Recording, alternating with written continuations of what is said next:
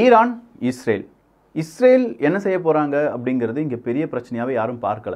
அவங்க செஞ்சிட்ருக்கிறதா இருக்கட்டும் அவங்க ஒரு நூறு பேரை கொண்டுட்டாங்க அப்படின்னு சொல்கிறதா இருக்கட்டும் அதெல்லாம் ஜஸ்ட் ஒரு நியூஸாக வருது. ஆனால் ஈரான் என்ன செய்ய போகிறாங்க ஈரான் அப்படி செஞ்சுருவாங்களா? ஈரான் இப்படி செஞ்சிருவாங்களா அப்படிங்கிறது தான் மாற்றி மாற்றி எல்லாருமே டிஸ்கஸ் பண்ணிகிட்டு இருக்காங்க. ஈரானுடைய மிசைல் சிட்டி எப்படி இருக்கும்?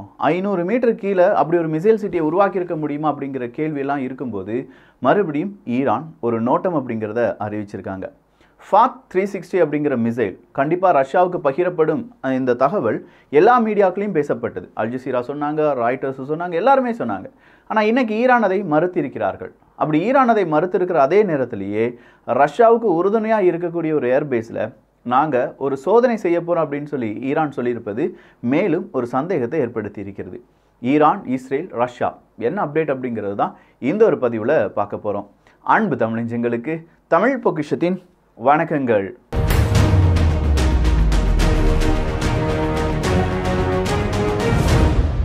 ஈரான் இஸ்ரேல் அப்படின்னு சொல்கிறது ஒரு சாதாரண யுத்தமாக நீங்கள் பார்க்காதீங்க. ஏன்னா ஒரு கட்டத்தில் அமெரிக்கா ஈராக்கை இன்வைட் பண்ணுறாங்க அப்படி இன்வைட் பண்ணும்போது அங்கே ஈராக் ஈரான் அப்படின்னு சொல்கிறது இரண்டுமே சண்டை போட்டு கொண்டிருந்த நாடுகள். அதில் ஈராக்குக்கு எதிராக தானே அமெரிக்கா உள்ளே போகிறாங்க நாம் ஏன் சண்டை போடணும் அப்படின்னு சொல்லி ஈரானும் கொஞ்சம் ஒதுங்கி நின்று தான் பார்த்தாங்க. அப்போது ஈரானுடைய பாப்புலேஷன் எவ்வளவு அப்படின்னு கேட்டிங்கன்னா வெறும் இருபத்தஞ்சி மில்லியன் தான். ஆனால் இன்றைக்கி அதே ஈரானை யாராவது தொட வேண்டும் அப்படின்னு நினச்சா அங்கே இருக்கக்கூடிய பாப்புலேஷன் கிட்டத்தட்ட எண்பது மில்லியன் ஸோ இந்த எண்பது மில்லியன் பாப்புலேஷனை அவங்களுடைய கண்ட்ரோலில் வைக்க முடியுமா? அமெரிக்கா அமெரிக்கா கண்ட்ரோல்லையோ இல்லாட்டி இஸ்ரேல் இஸ்ரேலினுடைய கண்ட்ரோலையோ வைக்க முடியுமான்னு கேட்டால் இந்த இடத்துல பிரித்தாளும் சூழ்ச்சி எந்த அளவுக்கு ஈரானுக்கு எடுபடும் அப்படிங்கிறத நம்ம கவனிக்கணும். ஏன்னா இந்த மேற்கத்திய நாடுகள் இல்லாட்டி அவங்களுடைய அடுத்த கட்ட நகர்வு அப்படின்னு சொல்லும்போது நமக்குள்ளேயே நிறைய பிரச்சனைகளை உருவாக்குவது அப்படிங்கிறது தான். இப்போ இந்தியாவை எடுத்து பார்த்தா இந்தியா பாகிஸ்தான் சொல்லி ஒரு பிரச்சனை உருவாக்கிட்டு போயிட்டாங்க. இந்தியாவை எடுத்து பார்த்தா மத மோதல்களை உருவாக்குவதற்கும் சில நம்முடைய அண்டை நாடுகளில் ஏதாவது பிரச்சனையை உருவாக்கி அதன் வழியாக இந்தியாவுக்கு குடைச்சல் தரலாம் அப்படிங்கிறது எல்லாமே உலக அரசியலில் இருக்கக்கூடிய பல பிம்பங்கள். இதே மாதிரி ஈரானுக்குள்ள மத மோதல்கள் அப்படிங்கிறது வர்றதுக்கான வாய்ப்புகள் கிடையாது. மைனாரிட்டிஸை வச்சு அங்கே ஏதாவது பிரச்சனைகள் பண்ண முடியுமா அப்படின்னு பார்த்தா இந்த மைனாரிட்டிஸ் அப்படிங்கிறவங்க ஈரானில் ரொம்ப ரொம்ப ரொம்ப குறைவு தான் அப்போ மைனாரிட்டிஸுக்குள்ளேயே ஏற்படக்கூடிய பிரச்சனைகள் கண்டிப்பாக ஈரானை பெரிய அளவில் என்ன செய்யாது? அது ஒரு பெரிய தாக்கத்தை ஏற்படுத்தாது.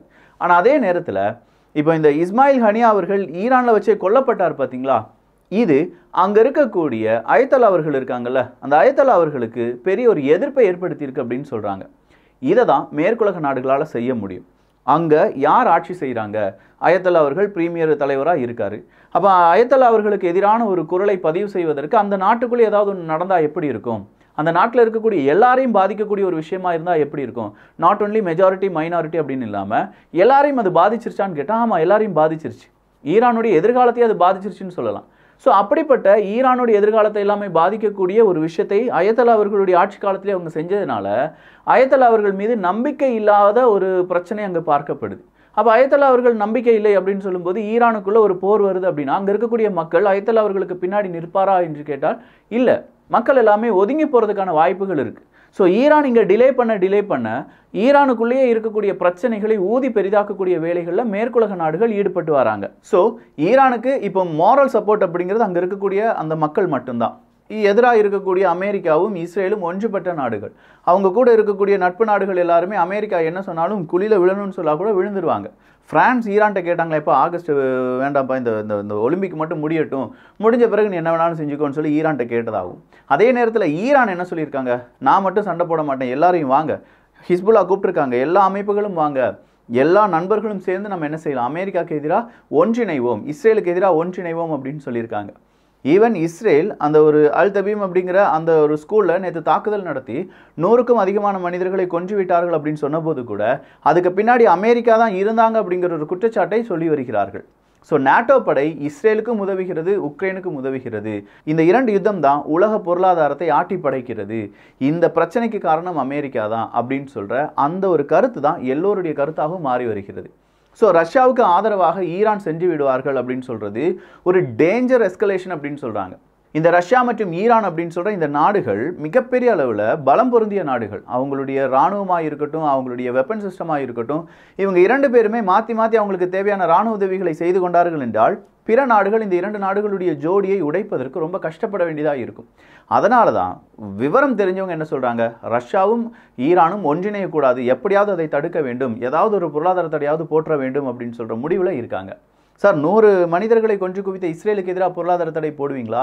இன்னும் யுத்தமே ஸ்டார்ட் பண்ணலை. அப்படி ஸ்டார்ட் பண்ணுறதுக்கு முன்னாடி நீ இத்தனை பேரை கொன்னுருவ அப்படின்னு சொல்லி ஈரானுக்கு எதிராக பொருளாதார தடை போடுவீங்களா அப்படின்னு சொல்லி நீங்கள் ஐநா சபைகிட்ட போய் கேட்டால் கூட ஐநா சபை சொல்கிற ஆன்சர் ஆமாம் ஈரானுக்கு எதிராக தான் நான் பொருளாதார தடை போடுவேன் அப்படின்னு சொல்லுவாங்க.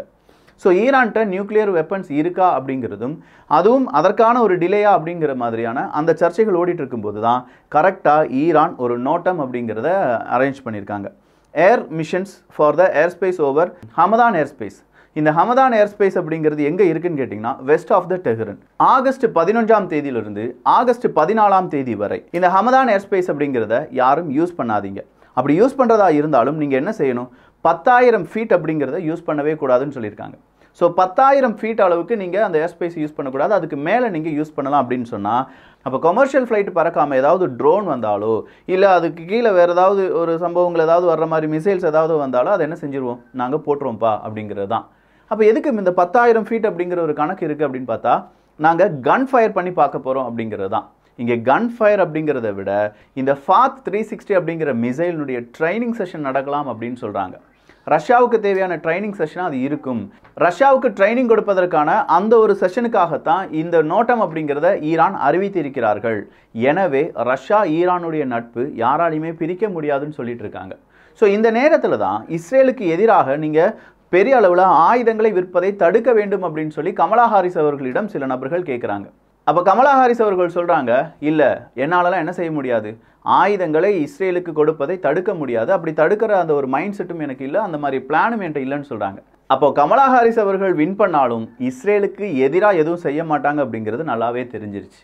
அப்போது ஈரான் இல்லைப்பா அமெரிக்க பிரசிடென்ட் தேர்தலை ரொம்ப பெரிய அளவில் சீர்குலைப்பதற்கான வாய்ப்புகள் இருக்குது டொனால்டு ட்ரம்ப் அவர்களுக்கு எதிரான ஒரு கருத்தை ஈரான் விளைவிப்பார்கள் அப்படின்னு சொன்ன அமெரிக்காவினுடைய கூற்றும் இங்கே பொய் தான். அப்போ அமெரிக்கா தேர்தல் எலெக்ஷனில் என்ன முடிவுகள் வந்தாலும் ஈரானுடைய தலை உருளப் போகிறது. ஈரான் ஹேக்கர்ஸ் ஹேக் பண்ணிட்டாங்க அப்படின்னு சொல்கிறத அமெரிக்கா அமெரிக்காவினுடைய ஊடகங்கள் சொல்ல போகிறத குறித்து வச்சுக்கோங்க. இன்றைக்கி நீங்கள் இதை குறித்து வச்சுக்கிட்டாலும் எலெக்ஷனுக்கு பிறகு இதே செய்தி வெளிவரும்போது அன்னைக்கே விக்கி சொன்னால் இதெல்லாம் நடக்கும் அப்படின்னு சொல்லி உங்களுக்கே புரிய வரும். புரியுதா? அவங்க எல்லா இடத்துலையுமே அப்படி நியூஸை ஸ்ப்ரெட் பண்ணுறாங்க அப்படி நியூஸை ஸ்ப்ரெட் பண்ணி அதுதான் உண்மை அப்படின்னு சொல்லி நம்மளை நம்ப வைக்க ட்ரை பண்ணுறாங்க அவ்வளோதான் அப்போ ஈரானுடைய அடுத்த இலக்கு என்ன அப்படின்னு பார்த்தீங்கன்னா பயப்பட வச்சுட்டாங்க. இதுக்கு மேலே அடிக்காமல் இருந்தால் ஈரானுக்கு மிகப்பெரிய அவமானம்.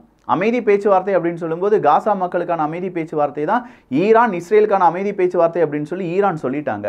காசா மக்களை இவங்க அமைதி பேச்சுவார்த்தை அப்படின்னு சொன்ன பிறகும் கொஞ்சம் குவிக்கிறார்கள்.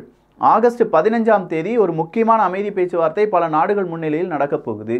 அதுவரையிலும் ஈரான் சமாதானமாக இருக்கிறாங்க அப்படின்னா கூட அதுவும் ஈரானுக்கு அவமானம் தான் ஸோ எப்படி இருந்தாலும் எப்படி சுற்றி வளைச்சு பார்த்தாலும் ஈரான் அடிக்கிறாங்க அடிக்க போகிறாங்க அப்படிங்கிறது உண்மை. ஆனால் எப்போ எதுக்காக என்ன காரணம் சொல்லி அடிப்பாங்க எவ்வளவு தூரம் அடிப்பாங்க ஏர் ஸ்ட்ரைக் மட்டுமே நாலு தினங்கள் இருக்கலாம் அப்படிங்கிற ஒரு தகவல் வருது. ஏர் ஸ்ட்ரைக் மட்டுமே நான்கு தினங்கள் தொடர்ச்சியாக இருக்கிற அளவுக்கு ஈரான்கிட்ட கேப்பபிலிட்டி இருக்கா? அவங்கக்கிட்ட புதுவிதமான ட்ரோன் இருக்குன்னு சொல்கிறாங்க அவங்கக்கிட்ட புதுவிதமான மிசைல்ஸ் இருக்குன்னு சொல்கிறாங்க இதெல்லாம் சொல்ல தான் செய்கிறாங்க இரநூறு மிசைல்ஸ் வெளியுலகத்துக்கு காண்பிக்கப்பட்டிருக்கிறது. இரண்டாயிரத்துக்கும் அதிகமான மிசைல்ஸ் வெளியுலகத்துக்கு காண்பிக்கப்படவில்லை அப்படின்னு சொல்கிற செய்தி எல்லாமே வருது. உங்களுடைய சைக்காலஜிக்கல் வார்ஃபேர் நல்லா தான் இருக்குது ஈரான்.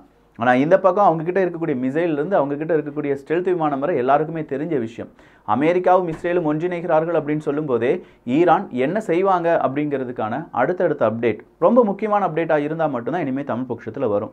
ஏன்னா தெரியும்ல தேவையில்லாமல் வீடியோ போடுறது வேஸ்ட் உங்கள் டைமும் வேஸ்ட் என் டைமும் வேஸ்ட் முக்கியமான அப்டேட் வருது இதே மாதிரி ரொம்ப இம்பார்ட்டண்டான நோட்டம்லாம் அறிவிச்சிருக்காங்க அப்படின்னா கண்டிப்பாக அது தமிழ் பட்சத்தில் ஒரு அப்டேட்டாக வந்தே தீரும். அப்படி இல்லையா? உங்களுக்கு இன்னும் கொஞ்சம் அப்டேட்டான இன்ஃபர்மேஷன் வர வியூகம் போங்க. வியூகத்தில் நம்ம இரண்டு மணி நேரத்துக்கு ஒரு தடவை ஒரு வீடியோ அப்படிங்கிறத அப்லோட் பண்ணிடலாம். அது ரஷ்யா உக்ரைன் சின்ன சின்ன வீடியோ மூணு நிமிஷம் வீடியோ ரெண்டு நிமிஷம் வீடியோ என்ன நடந்தாலும் அங்கே அப்டேட் பண்ணுவோம்.